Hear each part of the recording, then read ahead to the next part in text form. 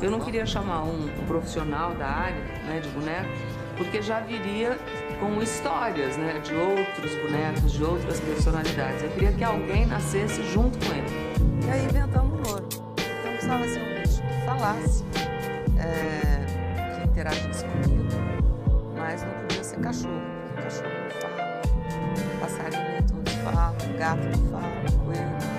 E aí, por eliminação, o papagaio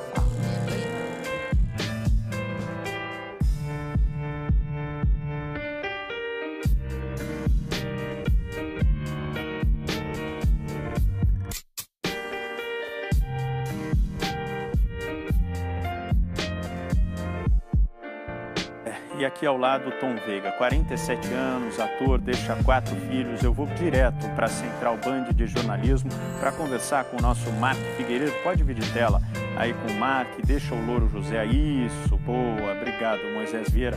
Mark, traz um pouquinho mais de informações e das pessoas, né, das celebridades e dos amigos do Tom se manifestando nas redes sociais. Vamos lá.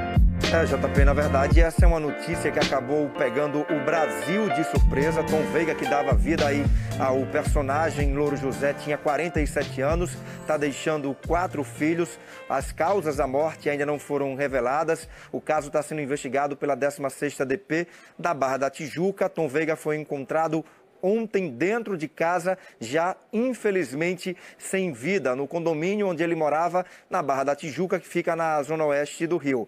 Claro que os fãs, celebridades acabaram indo para as redes sociais prestar aí as últimas homenagens ao ator Tom Veiga, uma parceria que durou mais de 20 anos com a Ana Maria Braga. Como a gente acabou de acompanhar na reportagem, começou essa parceria ainda na Rede Record e depois essa parceria seguiu para a Rede Globo desde 1900 1999, pegou todo mundo de surpresa e aí a própria Ana Maria Braga falou que acabou perdendo o que ela considerava um filho. Era assim que ela se referia a Tom Veiga, que tinha o Tom como um verdadeiro filho. A gente tem telões que você vai mostrar agora pra gente aí no telão do primeiro jornal JP, das homenagens de artistas, Serginho Grossman, Ivete Sangalo, enfim, muita gente homenageando e as homenagens são de fato válidas e merecidas, né, JP?